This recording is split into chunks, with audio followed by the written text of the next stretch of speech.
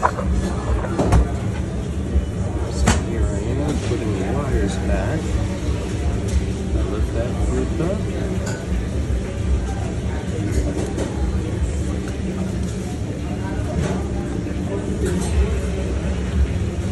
No need to cut any wires. And I was able to safely test this unit see exactly if it was the compressor or if it was this controller. And it ended up being this controller. So I'm gonna have to order them a new one.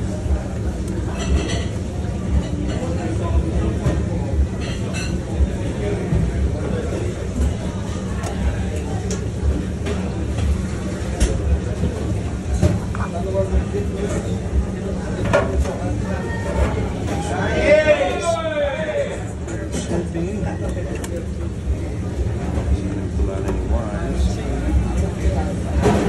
I'll fix this when I come back. Because I have to change this controller anyway.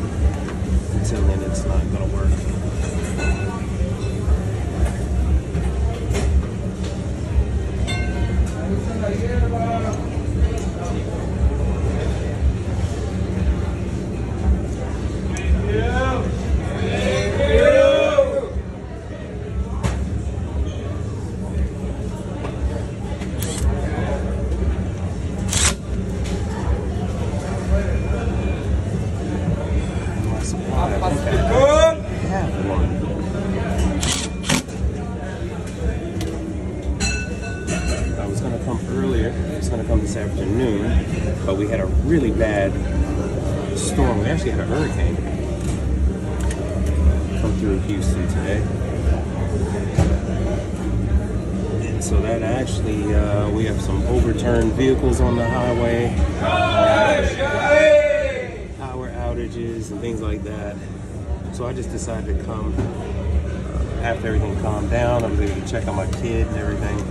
Uh, I was there for her when she got home. So now it's back to work.